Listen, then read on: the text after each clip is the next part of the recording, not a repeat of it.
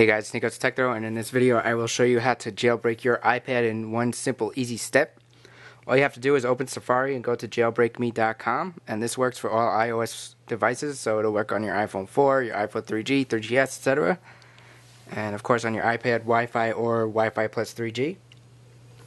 So all you do is go, go to jailbreakme.com, and as you just saw, just slide to jailbreak.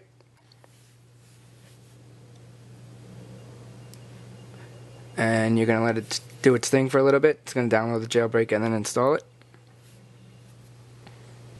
And you're probably going to want to go ahead and sync with iTunes beforehand just so you don't uh, you know, you don't lose any data or information on your phone or iPad or iPod Touch. And now it is jailbreaking. So sit tight.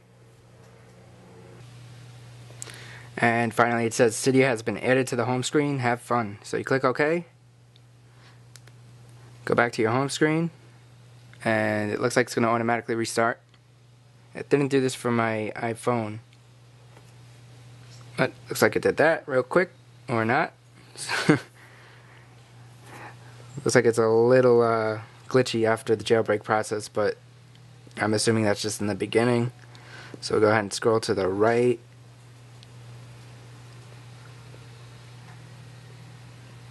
And right there you can see the Cydia icon. You could go ahead and launch that. Whoops.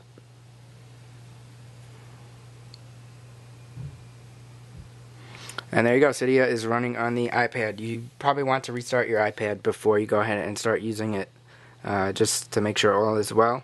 We'll go ahead and do that real quick. And there are a few pixels over there that are on for some reason or lit up, and I'm not sure what that's about. also did it on the iPhone. But once it started up, it was okay. And we're back. Go ahead and slide over and click on Cydia.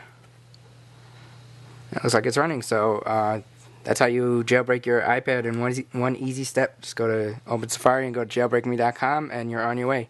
Once again, I'm Nikos Tech Throw. Thank you so much for watching. Please subscribe if you like this video, and I'll see you in the next video. Bye-bye.